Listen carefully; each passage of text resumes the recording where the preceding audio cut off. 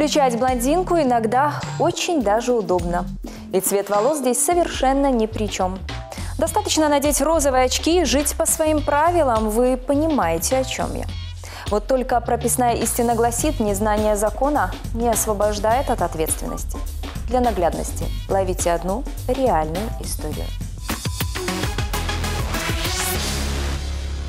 В период с августа 2020 года по декабрь 2022 50-летняя жительница Гомеля на постоянной основе готовила информационные материалы с заведомо ложными сведениями и публиковала их в интернете, а также собирала, обрабатывала и отправляла фото, видео и аудиоинформацию для размещения на деструктивных ресурсах. Женщине было инкриминировано распространение заведомо ложных сведений, дискредитирующих Беларусь, а также содействие экстремистской деятельности и назначено наказание в соответствии соответствии со статьей 361 Уголовного кодекса Республики Беларусь.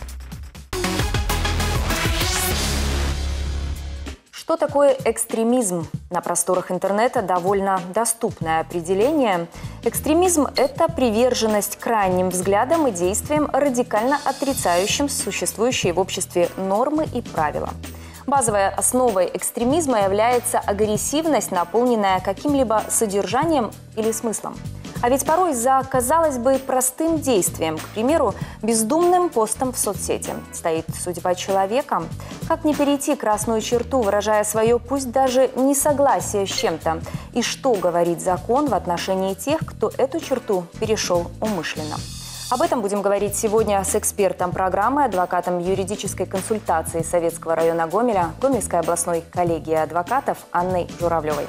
Анна, здравствуйте. Здравствуйте, Екатерина. Анна, какие выводы были сделаны после 2020 года? В законодательстве также произошли изменения, не так ли? Да, действительно, после событий 2020 года в законодательстве появилось э, достаточно много статей, которые усилили ответственность за действия, которые так или иначе могут быть расценены как действия против национальной безопасности государства. За финансирование экстремистской деятельности. Также новая статья 361 э, дробь 4 – это статья которая предусматривает ответственность за вовлечение, вербовку в экстремистскую деятельность, а также иные действия, способствующие экстремистской деятельности.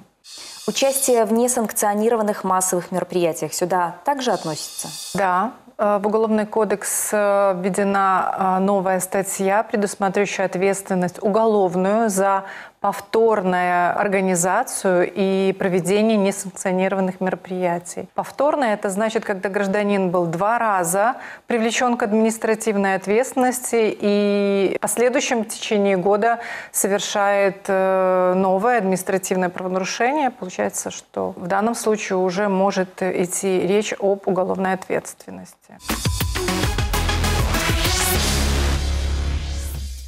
Уголовный кодекс Республики Беларусь. Статья 361, примечание 4. Содействие экстремистской деятельности. Пункт 1. Вербовка, иное вовлечение лиц в экстремистскую деятельность, обучение, а равно иное содействие экстремистской деятельности наказывается ограничением свободы на срок до 4 лет или лишением свободы на срок от 2 до 6 лет. Пункт 2. Те же действия, совершенные повторно, либо группой лиц по предварительному сговору, либо должностным лицом с использованием своих служебных полномочий, наказываются наказываются ограничением свободы на срок от 2 до 5 лет или лишением свободы на срок от 3 до 7 лет. Впереди нашу страну ждет важное событие – выборы президента. И так хочется, чтобы все прошло спокойно и мирно, и каждый мог сделать свой выбор, разумеется, в рамках действующего законодательства. Что касается избирательного кодекса, какие ключевые изменения произошли – за последнее время. Выборы в Республике Беларусь э, строятся на принципах свободного, э, всеобщего, прямого, равного голосования. И данное голосование является тайным. Да? Свободное – это то, что гражданин имеет право голосовать. Что касается изменений в избирательный кодекс, то действительно в 2023 году было достаточно много изменений э, внесено в э, избирательный кодекс, который уже несколько по-другому регулирует и устанавливает некоторые а, ограничения по вопросам участия и проведения выборов. Пожалуй, основной вопрос, все ли имеют право в нашей стране отдать свой голос? Право на участие в голосовании имеют э, граждане Республики Беларусь. Это что касается выборов президента Республики Беларусь, которые достигли 18-летнего возраста к дню голосования. И также, если, допустим, в день голосования гражданину исполняется 18 лет, то он также имеет право участвовать в голосовании. Также в избирательном кодексе внесены изменения по по лицам, которые не имеют права принимать участие э, в выборах. Это лица, которые признаны судом недееспособными, а также лица, которые осуждены по приговору суда. А, однако а, разрешено голосовать гражданам, которые, несмотря на то, что находятся а, под стражей, однако не признаны еще виновными. Какие правила поведения на избирательных участках сегодня установлены? Можем ли сказать, что они ужесточились? По-прежнему э, действуют правила, по которым на избирательный участок запрещено приходить в состояние алкогольного либо наркотического опьянения. За это предусмотрена административная ответственность. Также, если граждане будут э, оскорбительно приставать к гражданам, и, иным образом наруша, нарушать общественный порядок, э, предусмотрена ответственность за хулиганство. Это кодекс об административном правонарушении. Нельзя э, оскорблять э, должностных лиц, которые находятся на избирательном участке и осуществляют свою деятельность. Необходимо помнить, что, и это введено, кстати, э, нормой э, в 2023 году, в статье 52 избирательного кодекса, где предусмотрена ответственность за производство фото и видеосъемки избирательных бюллетеней. Вот, кстати, об этом. Нельзя фотографировать и снимать видео заполненного бюллетеня или, в принципе, это делать запрещено на избирательном участке? На избирательном участке можно сделать э, селфи, фото себя, но при этом важно, чтобы вот избирательный бюллетень не попал в данную фотографию, поскольку запрещено э, снимать именно бюллетень. И за это предусмотрена ответственность статьей 10 6 Кодекса об административном правонарушении, где как наказание может быть э, назначено до 15 базовых величин штрафа. Если э, человек сделал фото или видео э, собственного бюллетеня, к примеру, тем самым нарушил закон, а также отправил это фото а, в некоторые экстремистские а, ресурсы, а, что здесь грозит? И будет ли более суровым наказание? Здесь как раз-таки последует э, привлечение к уголовной ответственности по статье 361 э, дробь 4. Это вот иное содействие экстремистской деятельности. Всем членам избирательной комиссии э, разъяснено, что в случае обнаружения факта съемки бюллетеня они обязаны сообщить это сотруднику органов внутренних дел. И человек может быть привлечен к административной ответственности, составлен протокол, но если э, как-то гражданину удалось скрыть данный факт, и впоследствии гражданин это фото разместит в своих социальных сетях, то здесь в данном случае все равно будет административная ответственность э, за те действия, которые запрещено делать. Если же это фото безобидного характера, собственное селфи, опять же, на избирательном участке, а экстремистские ресурсы подают это немножко в другом контексте.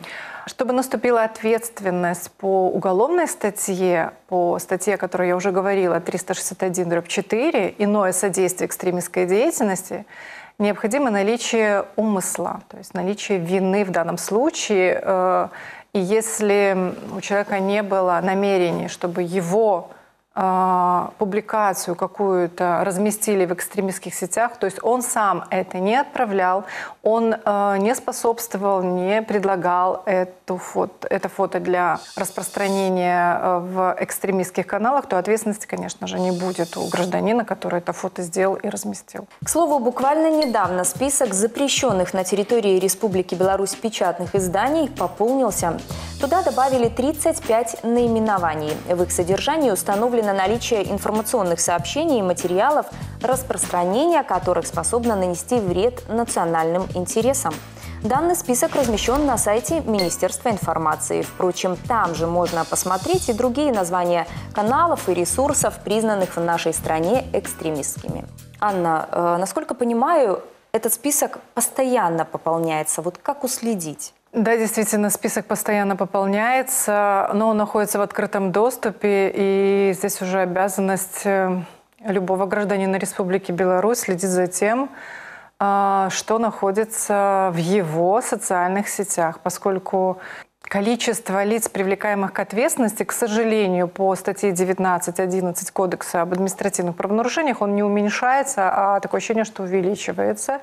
И порой бывают случаи, действительно, когда гражданин э, ну, оказывается в такой ситуации, что именно технологически э, тот, э, допустим, какой-то аккаунт, который раньше не был признан экстремистским, а на сегодняшний момент он является запрещенным, находится в открытом доступе в подписках у данного гражданина. И конструкция на сегодняшний момент э, закона об ответственности и судебная практика говорит о том, что если у гражданина этот аккаунт, который признан запрещенным, находится в открытом доступе, он доступен для его друзей, для других граждан, которые могут зайти на его а, аккаунт и посмотреть и увидеть этот запрещенный ресурс, считается, что он его э, либо распространяет, да, либо хранит с целью распространения. Все зависит от обстоятельств конкретного дела. В общем-то, тут главный совет периодически все-таки просматривать и удалять аккаунты, которые могут вызвать подозрения. А что же грозит за перепосты с таких экстремистских э, ресурсов, каналов? Давайте напомним. Это ответственность по, 19, по статье 19.11 Кодекса об административных правонарушениях. Если гражданин э, пересылает информацию с э, канала, который признан э, экстремистским, другому лицу, даже своему близкому родственнику, это является распространением запрещенной информации, за которую предусмотрена ответственность. Оскорбление должностного лица. Такие случаи были и в 2020 году, и позже. Я уверена, что вы в своей адвокатской практике также не раз сталкивались с такими историями. А, так понимаю, в этом отношении сегодня тоже закон ужесточил правила. Да, действительно, дело в том, что часто случаи, которые связаны не только с личным высказыванием каких-то оскорбительных фраз, опять же, связано с действиями в социальной сети. Если, например, э, в некоторых социальных сетях вы ставите э, лайк, да, это знак «понравилось» какой-то публикации, и она автоматически размещается в вашей ленте, и эта публикация содержит какие-то высказывания, которые являются оскорбительными в отношении должностного лица, то в данном случае лицо, которое поставило лайк, которое, по сути, распространило эту информацию, будет нести ответственность за э, оскорбление должностного лица, предусмотрен Уголовным кодексом Республики Беларусь. Не лишним будет совет юриста все же, э, как себя вести э, в этот важный период для нашей страны. Совет юриста достаточно прост. Необходимо соблюдать законодательство Республики Беларусь. Ну, пожалуй, это основное. Спасибо, Анна, за правовой ликбез. Удачи в делах. Спасибо, Екатерина. Жить в правовом государстве и ссылаться на незнание законов как минимум легкомысленно. Это уж точно никого не защитило от ответственности. Согласитесь, как все-таки важно вовремя снять розовые очки. Надеюсь, наша программа кому-то из вас в этом помогла. Сделайте правильные выводы. До новых встреч!